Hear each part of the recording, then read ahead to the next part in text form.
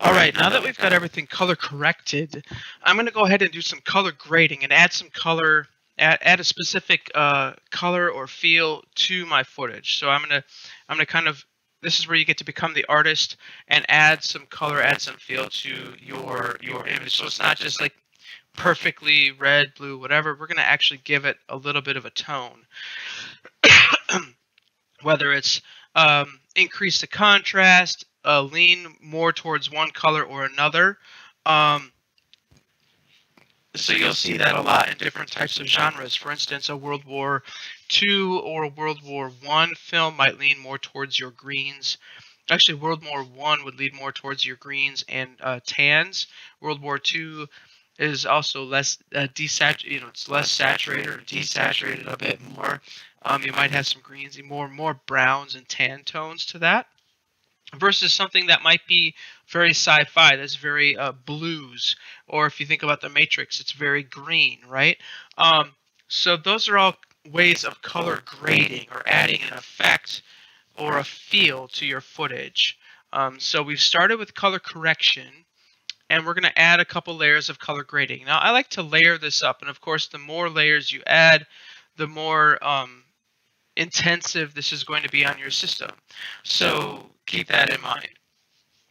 Um, so what I'm going to do is actually come down and I'm going to create a new adjustment layer. Okay, and that's what I've done here. I've created an adjustment layer and um, I've applied that. Just like we use adjustment layers in Photoshop, um, I've used adjustment layers to um, to kind of work with my work work with my uh, uh, my color uh, in in Premiere. Okay, so let's take a look. So you've got my adjustment layer here. There's my Lumetri color. Let's take a look at what I did. So starting from the top, I brought the exposure up on this particular layer a little bit. So it's bringing the exposure up a little. Um, I have sharpened it a, a, a hair, brought the vibrance down, and the saturation remained the same.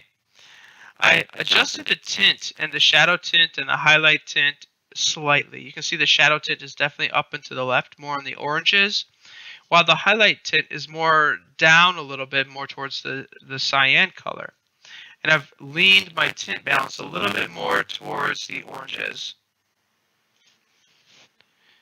Let's take a look at what I did with the curves. All right, so I didn't do anything down here, but up here, I took my luminance curve and I brought, I have a slight or an elongated S curve going on here. So I brought the, the luminance up in, in the higher ranges while I brought it down in the darker tones in our shadows. So what it's going to do is it's going to give it a more, a, much more contrast between my, my, my lights, my highlights and my, and my lowlights color wheels, nothing's changed there. HSL, nothing has changed in that either. Vignette, I did add a little bit of vignette. It's very slight, uh, 0.4 negative, um, and a feather of 53.2, so it's very soft. Very soft. And again, this adjustment layer is going over my entire my entire project here. And now I'm going to go ahead and turn this on. Let's see what we've got.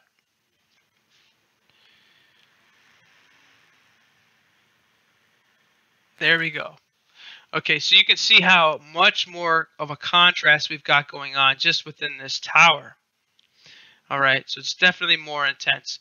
Now I've got another adjustment layer on top. Let's again, let's take a look at this one. It's not doing anything here. And I've decided to break this up because if I don't like this and I want to stick with this other one, I could just easily remove this adjustment layer, hide it, whatever I want, and get rid of it.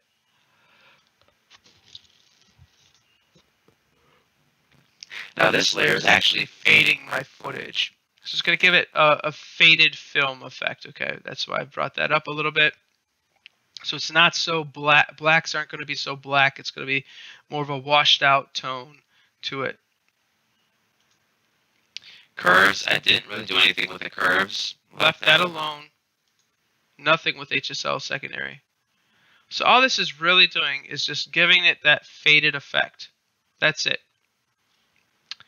And um, oh, actually, the tint is also adjusted a little bit more. So I brought a little bit more blue into the highlights, pushed it a little bit more towards the red, very slightly. Um, and the tint balance is the same in the center. So that hasn't changed. So let's turn that on and see what that looks like.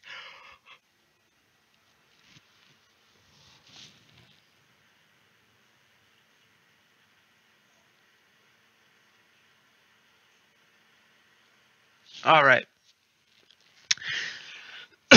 so one thing I know for sure is I don't like this highlight tint.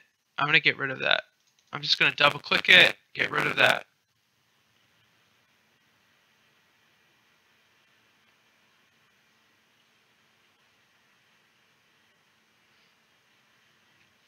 And now we're a little bit more on the red side, so I might click that shadow tint, get rid of that, set that back to normal. So all this is doing now should be just fading my my uh, my scene a bit. Yeah. There we go. Not bad. Let's take a look here again.